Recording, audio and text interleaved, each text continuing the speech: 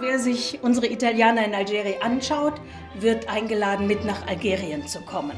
Wir erleben dort Typen auf der Bühne, Charaktere, die von Rossini natürlich entsprechend überzogen sind, charmant überzogen sind und die empfangen uns auch hier.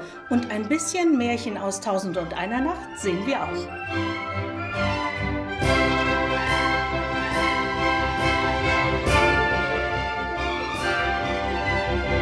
Die Musik von Rossini ist so fröhlich, so lebendig, so voller Leben, dass ich es sehr mag, Rossini-Opern zu inszenieren. Dazu machen sie einfach gute Laune, also da hat Rossini schon sehr schöne Dinge entwickelt.